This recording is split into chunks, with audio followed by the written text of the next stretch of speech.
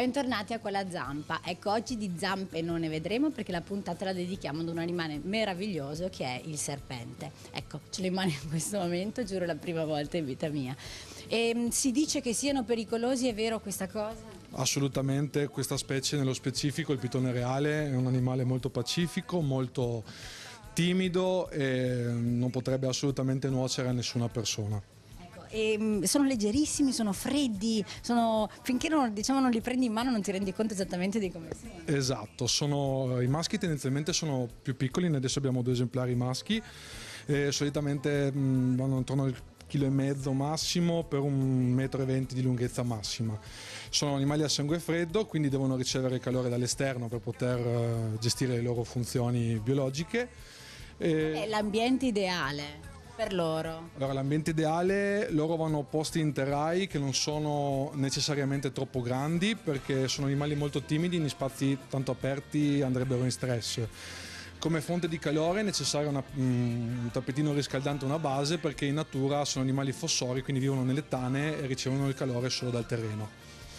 C'è da avere particolari cura, particolari diciamo, eh, accortezze immagino, no? Non è certo come avere un gatto. Allora, il problema fondamentale di questi animali è che spesso e volentieri dei venditori, degli allevatori poco seri tendono a vendere l'animale correlato di una serie di accessori che possono essere inutili se non addirittura dannosi.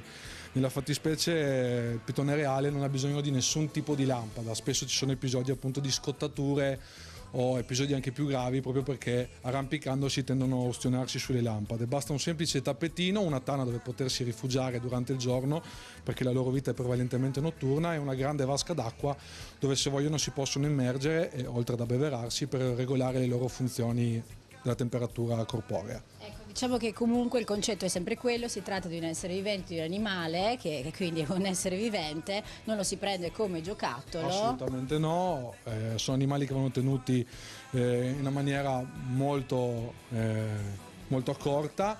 Quindi non è un giocattolo, però oggi volevamo farvelo conoscere, riprenderemo sicuramente questo argomento che è vastissimo, vi lascio invece con l'adozione della settimana perché loro non si adottano e lei è Mandorla, è diciamo, la rappresentante di otto cuccioli che sono all'Assad, che sono stati eh, vaccinati, sverminati, pronti per essere adottati da, tra una decina di giorni.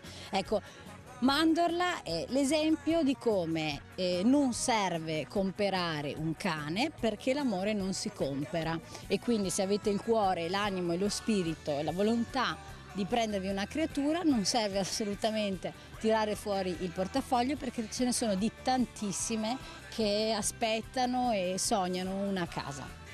Ci vediamo la prossima settimana.